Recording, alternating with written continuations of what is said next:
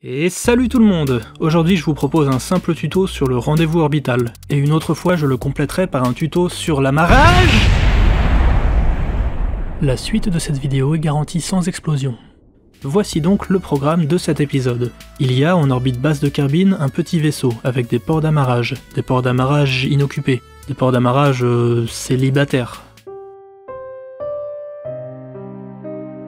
Non, t'en fais pas mon petit, d'ici quelques heures je t'enverrai ta bien-aimée. Ce qu'on va faire dans cette vidéo, c'est qu'on va construire un autre vaisseau, faire le lancement et faire le rendez-vous. Et dans la vidéo suivante, on fera l'amarrage et on exploitera les possibilités permises par l'amarrage. On commence donc par la construction du vaisseau qui va rejoindre l'autre vaisseau. Là, j'ai la base de mon étage supérieur, mais je voudrais en faire un vaisseau d'amarrage, de ravitaillement et de soutien, pour une intervention technique. Je vais d'abord mettre mon port d'amarrage qui doit avoir la même dimension que celui d'en haut, parce que sinon ça rentrera pas. Et en l'occurrence ici, c'est un Chopotron Junior. Je prévois d'installer un parachute sur le vaisseau d'en haut. J'installe donc un réservoir à pièces détachées dans lequel je fourre mon parachute. Et puis celui-là aussi tant qu'à faire. Pour l'amarrage, on va avoir besoin de faire des translations. On aura donc besoin de RCS. Je pourrais installer un réservoir à Monergol, mais en fait, il y a déjà du Monergol dans ma capsule. 10 unités seulement, mais ça suffira. Ensuite, on va placer des moteurs RCS. Je vais en placer 4, et je vais les placer autour du centre de gravité. C'est important pour faire des translations propres. Si jamais vos RCS sont décentrés, eh bien les poussées provoqueront également une rotation non désirée. Rotation, tu n'étais pas désiré. Maintenant, il y a quelque chose à bien garder à l'esprit. Lorsque vos réservoirs à carburant se vident, le centre de gravité est affecté, il se déplace et c'est pour cette raison que j'ai placé les pièces détachées en dessous du carburant. En fait, j'ai testé ces deux conceptions, et pour l'une d'entre elles, le centre de gravité s'éloigne beaucoup plus lorsque le carburant se vide. C'est pas forcément grave, mais il vaut mieux éviter, donc j'ai préféré cette disposition. Voilà, notre étage supérieur est terminé. Maintenant il reste à créer les étages inférieurs. Je vais pas détailler cette partie, ce n'est pas le sujet. Sachez simplement que j'ai utilisé la Delta V map. Elle m'indique qu'il faut cumuler 3400 mètres par seconde de Delta V pour rejoindre l'orbite basse de Carbine. J'ai donc cherché à dépasser cette valeur. Et voilà pour la fusée, il n'y a plus qu'à préparer le lancement. Et maintenant... C'est parti Hop hop hop, tu fais quoi? On lance pas n'importe quand L'orbite du vaisseau que je veux atteindre est inclinée. Si je veux l'atteindre efficacement, il va falloir que cette fusée ait la même inclinaison dans le même plan. Pour dire les choses clairement, ça c'est bien, et ça c'est pas bien.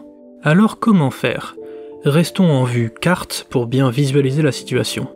Déjà, dans quel sens tourne le vaisseau qu'on veut atteindre? C'est pas forcément évident pour les débutants. Il y a un code couleur qui est en fait le même que celui d'une étoile filante. Le côté clair, c'est là d'où elle vient, et le côté sombre, c'est là où elle va. Dans Kerbal, les orbites sont représentées de la même façon, ce vaisseau va donc dans cette direction. Et maintenant, à quel moment doit-on réaliser le lancement? L'orbite est là, alors que le centre de lancement est là. Il faut attendre que le centre de lancement se trouve juste en dessous de l'orbite à atteindre. Je vais donc faire une avance rapide. Voilà, arrêté juste avant. A vue d'œil, on peut voir que l'angle entre l'équateur et l'orbite cible est d'environ 10 degrés. Je dois donc essayer de viser 10 degrés au-dessus de la direction Est. Je décolle et je vous explique tout ça.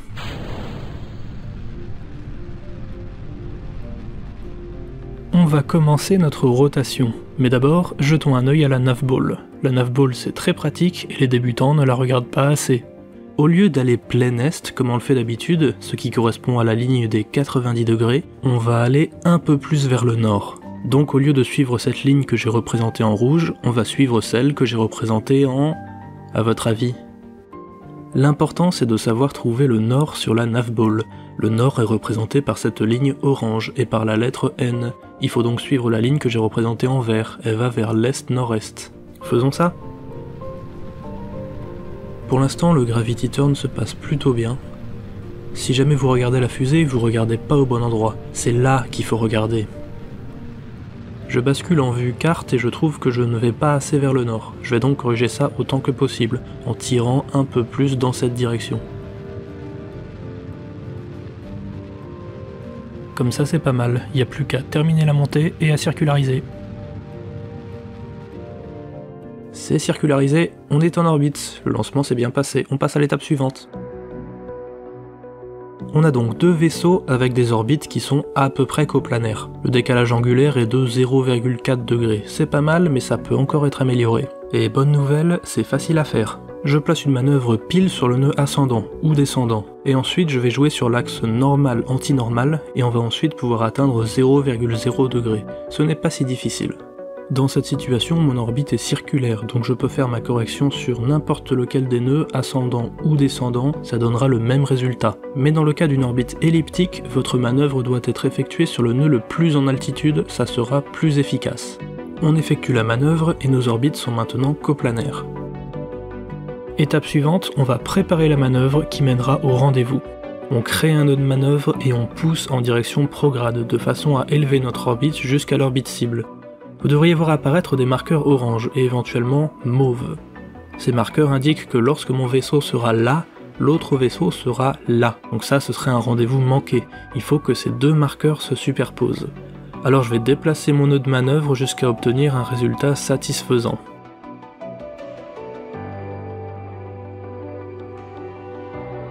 Et voilà. Parfois vous ne trouverez rien de convenable. Par exemple ici, les vaisseaux sont de part et d'autre de la planète, il n'y a aucune manœuvre qui conviendra. Dans ce cas, on fait clic droit sur la manœuvre et on appuie sur ce bouton plusieurs fois pour que la manœuvre soit faite après plusieurs orbites. Voilà qui est mieux, et...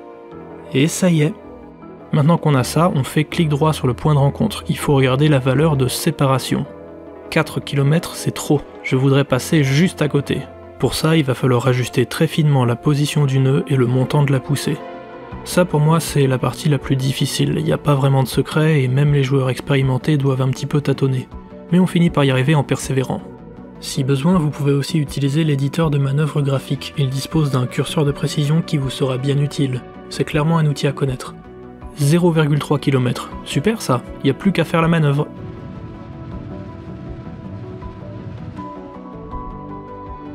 On est en route pour le rendez-vous il va falloir freiner au bon moment, et surtout dans la bonne direction. Ça y est, je vois l'autre vaisseau arriver. Je règle mon indicateur de vitesse en mode cible.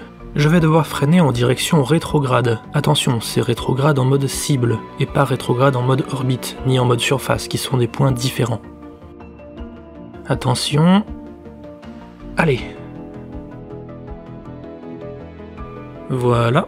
On est encore un peu loin, il faut qu'on se rapproche on va s'orienter directement vers la cible et effectuer simplement une poussée pour se rapprocher. Une poussée pas trop forte parce que sinon c'est du gâchis de carburant, et une poussée pas trop faible parce que sinon vous allez finir par dériver à cause d'un phénomène orbital que je ne détaillerai pas. Vous pouvez par exemple prendre votre distance à la cible, vous la divisez par 100 et ça vous donnera une vitesse d'approche à peu près convenable.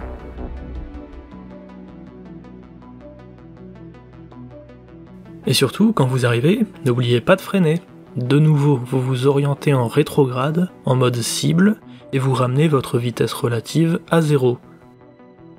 Voilà, ça c'est du rendez-vous. D'ici, on peut, si on le souhaite, faire passer nos carbonautes d'un véhicule à l'autre, en faisant des EVA. Mais par contre, si on veut faire un transfert de carburant, il va falloir qu'on passe à l'étape suivante. Mais ça, ce sera dans une prochaine vidéo. Et elle sortira quand cette vidéo? Eh bien à peu près lorsque celle-ci aura atteint 1000 vues. Voilà, ça ne dépend plus de moi. Et d'ici là, je vous dis à la prochaine, salut